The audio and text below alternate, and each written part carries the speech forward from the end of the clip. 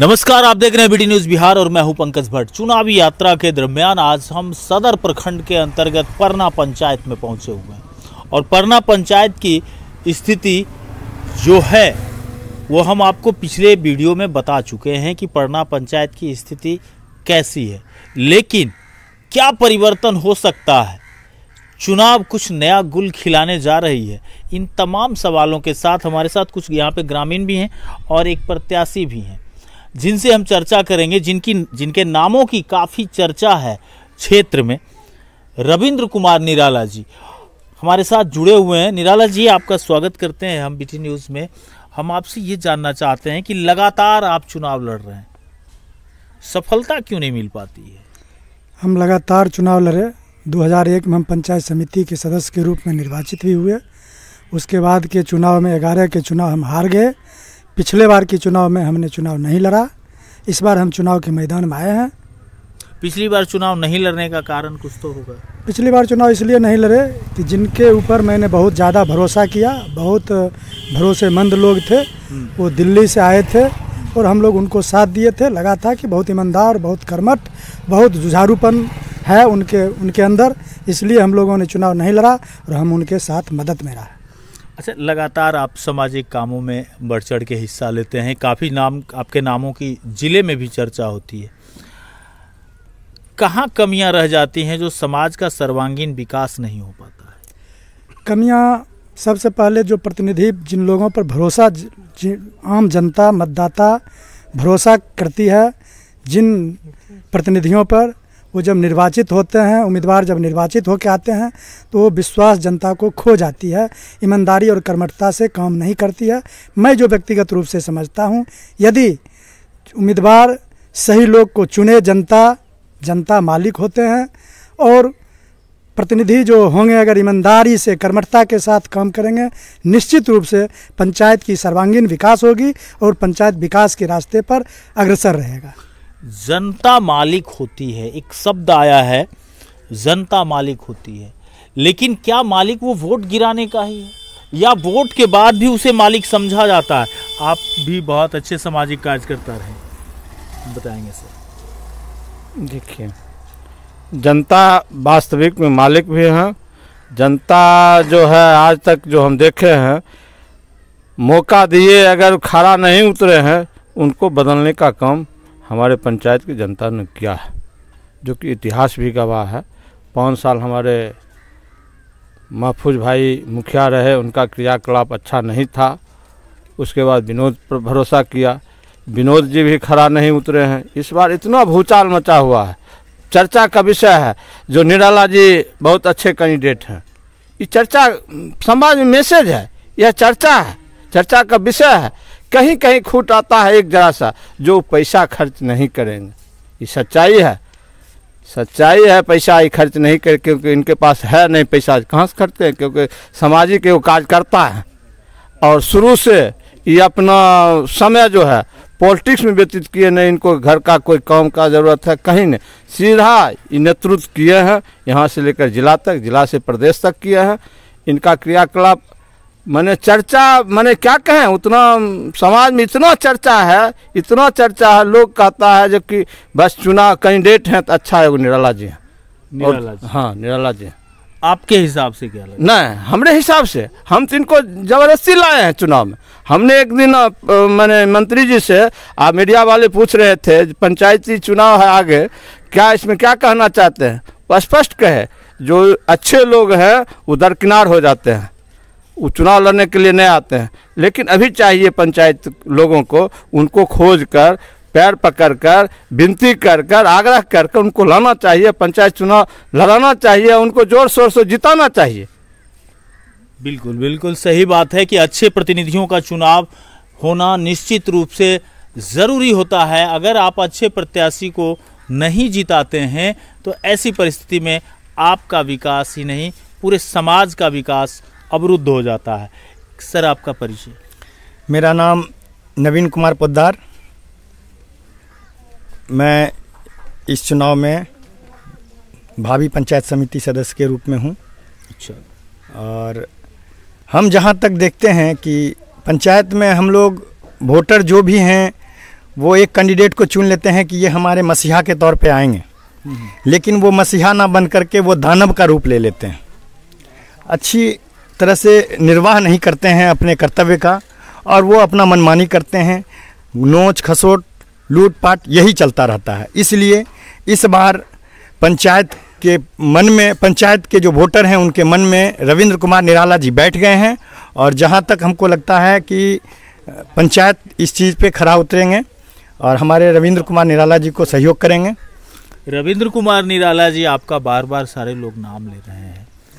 आपको अगर ज़िम्मेदारी मिल जाती है, यहाँ की जनता आपको ज़िम्मेदारी देने के मूड में है, अगर ज़िम्मेदारी मिल जाती है तो पहला काम क्या होगा आपका? जनता के द्वारा जब मुझे जवाबदेही दी जाएगी तो सबसे पहले मैं चौमुखी विकास के रूप में, सबसे पहले मैं स्वास्थ्य पर ध्यान रखूँगा और स्वास्थ्य के साथ साथ शिक्षा शिक्षा में पढ़ाई में बहुत गड़बड़ी होती है। टीचर सौ समय पर नहीं आते हैं पढ़ाई लिखाई ठीक से नहीं होता है शिक्षा और स्वास्थ्य मेरा पहली प्राथमिकता होगी कि ठीक ढंग से चले। क्या कहना चाहेंगे आप? तो किसान हैं। क्या लगता है इस सब चुनाव को देख करके? सब ठीके छै गे कोनो गड़बड़ छै? नहीं जैसे कि गड़बड़ क्या था? गड़बड़ और की कहब? सब ठीके छै होते। सब जनता ठीक छै तो हमहूँ आर सब ठीके छियै। सब ठीक है। हाँ। सर आप पैक्स अध्यक्ष लगातार रहे हैं। यहाँ के किसानों को आपसे कितना फ़ायदा मिला है? जी जब से हम जिस समय पैक्स अध्यक्ष नहीं थे हम्म। उस समय भी हम मैंने जिला में अपनी बात को रखे भोला बाबू के नज़दीक उस समय भी खाद उपलब्ध कराए थे। और अभी जो है इधर चार पाँच पंचायत की बात मैं कह रहा हूँ जब से हम बने हैं तब से या लोन का सुविधा किसान को देते हैं अभी एलजी ग्रुप चला रहे हैं महिला को भी सेवा दे रहे हैं। और खाद तो ये तो हमारा कर्तव्य है।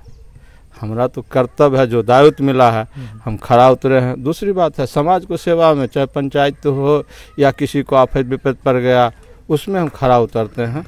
कोई बात नहीं है पंचायत मैंने पैक्स अध्यक्ष हैं तभी। हमारा इतिहास भी है जो दो साल पहले रोड नहीं बना था आज वो लपटलिया जैसे जगह है वो भोला बाबू के स्वजन से हम प्रयास कर कर उस रोड को खुलवाए। दो साल पुराना उस मोहल्ला में रिक्शा नहीं जाती थी। आज उस आज मोहल्ला में दस चकवा जा रहा है। निराला जी एक बात समझा समझाने की कोशिश कीजिए आप कि क्या योजनाओं को ज़मीन पर उतार देने मात्र से ही सामाजिक विकास होता है? जी नहीं योजना को सिर्फ़ उतार देने से सामाजिक विकास नहीं हो सकती है। सामाजिक सौहार्दपूर्ण वातावरण की आवश्यकता है। सबका साथ और सबका विकास के नारा के साथ विकास करना चाहिए न्याय के साथ। यही सर्वांगीण विकास का रूपरेखा बनेगा।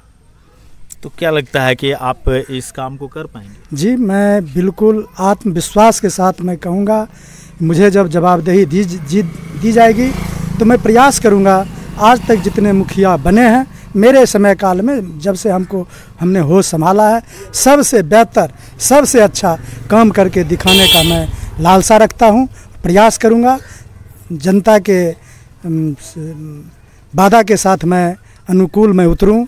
ये मेरा सबसे पहला वादा है कि मैं सही ढंग से काम करूँगा। आप अपनी जनता को क्या कहना चाहेंगे? हम जनता से अपील करेंगे कि अपना कीमती वोट जाया ना करें। और ये पाँच वर्षों का पर्व है। पाँच वर्ष में एक बार मौका मिलता है सही और गलत का फैसला करने का।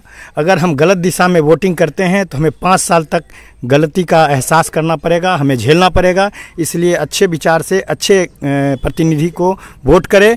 और जो अ, कहते हैं कि नहीं हमारा ई काम कलखनी है ई नहीं कलखनी वो नहीं देखना। देखना ये है कि हमारे समाज का भार किस नेता के ज़रिए सहा जा सकता है हम वैसे नेता को सपोर्ट करेंगे। बस जनता से मेरा यही अपील है। दारू शराब का भी बड़ी चर्चा रहता है आपके क्षेत्र में। जी हमारे पंचायत में जनप्रतिनिधि भी दारू का धंधा करते हैं जो जेल भी गए हैं। बजाबते उनके बेल तैल पर निकले हुए हैं उन पर एफ़ आई आर भी हुआ केस चल रहा है अभी वर्तमान में। हम लोग चाहते हैं वैसे मुखिया नहीं चाहिए। स्वच्छ छवि वाला हम लोग रविंद्र कुमार निराला जी को चाहते हैं। आपको कोई दारू शराब देगा तो नहीं लीजिए। जी नहीं। मुर्गा जी नहीं। नहीं कुछ नहीं। कुछ नहीं? कुछ नहीं। तो ये थे हमारे साथ जुड़े हुए परना पंचायत के कुछ लोग और प्रत्याशी पंचायत समिति सदस्य कैंडिडेट हैं और मुखिया प्रत्याशी भी। अब आप समझिए कि यहाँ पे एक बात चर्चा में आई है कि दारू शराब और कई जनप्रतिनिधि का भी नाम आया कि जनप्रतिनिधि उसमें इन्वॉल्व हैं। अगर ऐसे जनप्रतिनिधि आपके बीच वोट मांगने आते हैं तो आप उनसे सतर्क रहिए। इसलिए सतर्क रहिए क्योंकि आपको मुखिया नहीं चुनना है, आप ज़िम्मेदारी देने चले हैं और ज़िम्मेदारी इस बात की कि समाज का सर्वांगीण विकास हो, विकास आपकी चौखट को चूमे। आप आप यहाँ के वर्तमान मुखिया हैं। आप पर दिल्ली का ठप्पा लग रहा है कि आप दिल्ली वाले लोग हैं। देखिए, मेरे पंचायत का दुर्भाग्य था, जो 2011 का चुनाव हुआ, उसमें रविंद्र कुमार जी जो है ध्वस्त हुए थे और महफूज अंसारी जीत हासिल किया था। और उस टाइम महफूज अंसारी के साथ हम भी थे और महफूज अंसारी जीत हासिल किए थे। लेकिन उनका लैंग्वेज गलत था। माता, बहन या कोई भी एनी चाचा, भाई, जो भी जाते थे उनके पास तो सीधा कहते थे, कहाँ इन्हीं की काम छिको जो जो, तोहर देह महकई छो। उस टाइम विपक्ष में थे रविंद्र कुमार निराला जी। जनता को छोड़ के रविंद्र कुमार निराला जी भागे थे। जनता को हम पे उम्मीद था, जो दिल्ली से बुला के मुझे सोलह का चुनाव लड़ाया।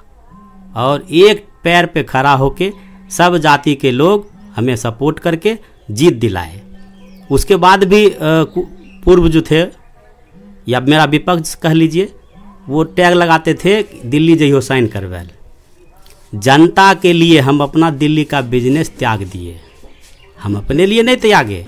अगर मुझे पैसे कमाना, कमाने का अगर शौक रहता तो हम दिल्ली में रहते, पटना में नहीं रहते। लेकिन मुझे किसी का घमंड तोड़ना था, किसी का दबंगई तोड़ना था, किसी का बोली खराब था, उसको ख़त्म करना था। इसलिए हम पाँच साल जनता का काम किए और अपना विचार अच्छा देते हुए, और मेरा स्लोगन ही था, अब की बार प्रेम विचार। अगर मेरा प्रेम विचार सक्सेस होगा, हुआ होगा तो जनता पुनः मुझे जीत कर दिलाएँगे। बाकी से ज़्यादा हम क्या करेंगे? जो करने लायक था, हम काम किए। काम में कहीं पीछे नहीं हटे। और ऐसा ऐसा रोड था, जो कभी सपना में लोग नहीं सपनाया कि भाई इस रोड को कोई खोल देगा, उस रोड को चालू करवाए। और आज कहते हैं कि मतलब दिल्ली। दिल्ली जनता के लिए त्यागे हैं। और रही बात कुछ लोग ये भी बोलते हैं कि भाई दिल्ली जाएगा। जनता का आशीर्वाद मुझे अगर प्राप्त होगा तो कोई भी चट्टान तोड़ देंगे। और जनता का आशीर्वाद प्राप्त नहीं होगा तो एगो ढेला भी नहीं फोड़ पाएँगे। आपको अपने काम पर तो भरोसा हो। भरोसा है और जनता पे भी भरोसा है। क्या कहना चाहेंगे अपनी जनता से? अपना जनता को यही कहना चाहेंगे कि पाँच साल बनाम पाँच साल। पाँच साल उसका भी कार्यकाल देखे, पाँच साल मेरा भी देखे। और रही बात, अभी जो कुछ लोग आ रहे हैं, वोट कटुआ वो जनता को एक एक जनता को पता है कि कौन उसको पैसा दिया है और कौन ठेकेदारी लिया है, कौन दलाली किया है। तो जनता हम अपने जनता से यही अपील करना चाहेंगे कि जनता सतर्क रहें और दलालों से सावधान रहें, क्योंकि दलाली चार महीना से कंटिन्यू चल रहा है। कि कैसे वीरेंद्र शर्मा को हराया जाए। लेकिन जनता मेरे साथ हैं। मुझे आशीर्वाद प्राप्त हो रहा है। डोर टू डोर गए, आशीर्वाद लिए। मुझे आशीर्वाद प्राप्त हो रही है। और मुझे कॉन्फिडेंट है, आत्मबल है कि जनता जो आशीर्वाद मुझे दे रहे हैं, मेरा जीत निश्चित है।